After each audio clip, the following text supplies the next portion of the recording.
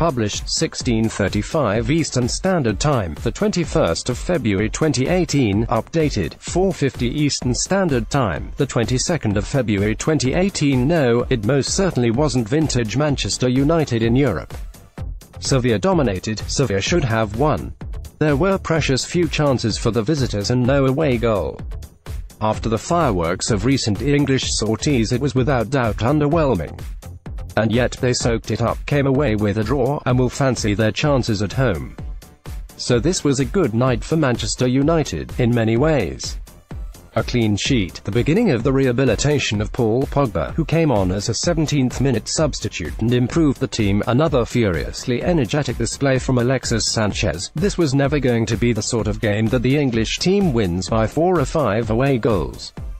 Sevilla are much better than Basle Porto. Between them, these two clubs have won the last four Europa League finals, Sevilla accounting for three of them. They know what they are about at the European knockout stages. David De Gea was at his brilliant best as Manchester United fought out a 0-0 draw at Sevilla in the Champions League. Sevilla were unlucky to not take the lead before half-time with Steven Nzonzi being denied here by De Gea. Centre De Gea was at it again just moments later to deny Sevilla striker Luis Muriel with this stunning one-handed save. Muriel closes his eyes as he holds on to, to the post after being denied at point-blank range by Manchester United star man Muriel less honours his bullet head arrowed towards De Gea, who was already preparing to react to the shot so, increasingly, to Manchester United under Mourinho. He won the lesser of the UEFA trophies last season and will expect, after this, to be competing in the last eight of the Champions League. United are still vulnerable at Old Trafford. In the return, any scoring draw sends Sevilla through, but while David De Gea was plainly a United star performer he wasn't needed as often as he should have been. Sevilla's finishing was poor. They had 25 shots, just 8 on target, and the majority of those powder puff. De Gea made one brilliant save, another very good one and a handful he could have claimed in his sleep. If there is a reason Sevilla are outside the Champions League places in Spain it will be the finishing. A great forward line would have put United away on Wednesday night. Mind you, the same could be said of the one good chance that fell to Romelu Lukaku. Inescapably, it's what he's there for. Getting the better of Huddersfield is a given for any leading Premier League striker. Manchester United paid £75 million to have nights like this defined and when his moment came, Lukaku failed miserably.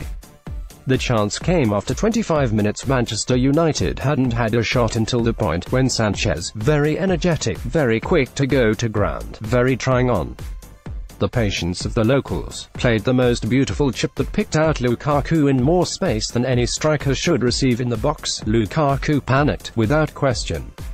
He opted to take it first time, when maybe he could have been patient, and skied it horribly over the bar. Had it gone in, this would have been one of those perfect smash-and-grab European raids. In the circumstances, however, goalless will have to do. Manchester United are comparative novices in the Champions League these days.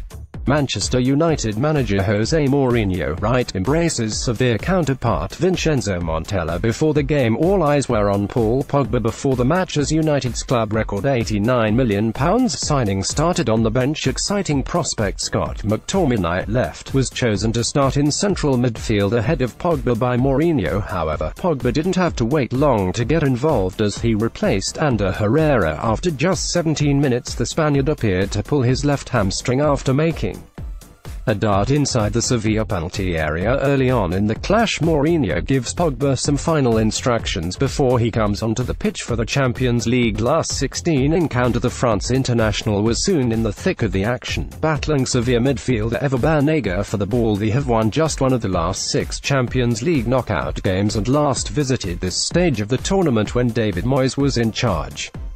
Louis van Gaal couldn't get them there, Moyes didn't get a second chance, and this is Jose Mourinho's first. So he had a plan, no doubt of that. It might not be a popular one, but it worked in its limited way. United so club Sevilla's pressure, before introducing the pace of Marcus Rashford with 15 minutes to go and Anthony Martial soon after. The problem was, by then, Sevilla had been allowed to dominate for too long. United couldn't get into the game so it fell to a well-marshaled defense and the outstanding De Gea to see them home safely. This they did, aided by some wanton finishing from Sevilla. Pablo Sarabia headed over from close range after 74 minutes. Clement Lenglet should have done more with another header in the 64th minute. Joaquin Correa had several breakthroughs on the left without providing an adequate finish and French referee Clement Turpin wisely dismissed a late moment of deviousness from Jesus Navas trying to win a penalty against Pogba. It was former Manchester United midfielder Ray Wilkins who said before the game that Sevilla were a bottom-six Premier League team. How much he has seen of Sevilla, or how much respect he has for Brighton, who he reckons would be above them, is unknown, but contrary to predictions this was hard, hard work for the visitors. Certainly harder than they would get from West Brom. Sevilla had most of the ball and, at the end of the first half, the best of the chances, too. De Gea was, once again, magnificent in a way Thibaut Courtois was not required to be for Chelsea against Barcelona on Tuesday. Sevilla did not play Barcelona's possession football but like any good La Liga side they are inventive, impressive on the counter-attack and cavalier in committing men forward.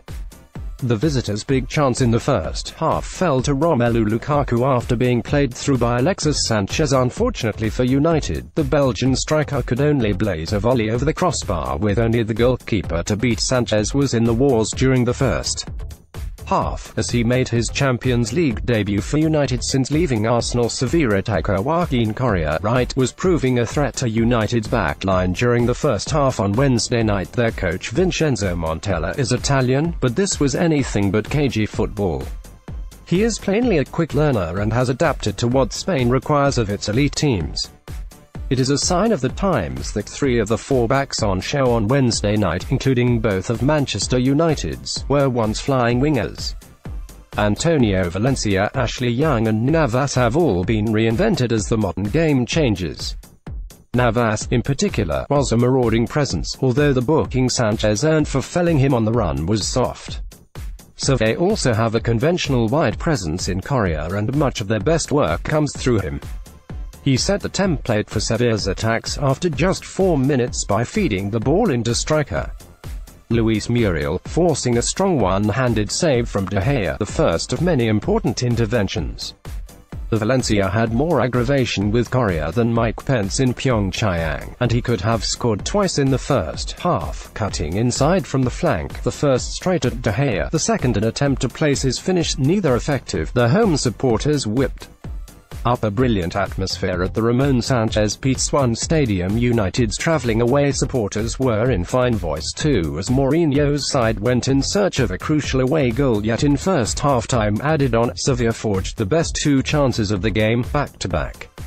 A corner was only half cleared and centre-half Gabriel Mercado tried an unlikely overhead kick that Steven Nzonzi helped on its way to goal, De Gea responding magnificently to tip his header over the bar. Again the corner wasn't adequately dispatched to safety, allowing Nzonzi to recycle the ball, finding Muriel who had managed to lose his marker, and everybody else, and was in clear space, certain to score.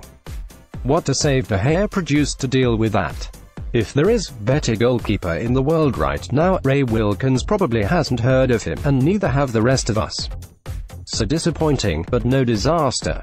Mourinho, of all people, knows the value of nights like this. He just can't afford another one like it when they meet again next month.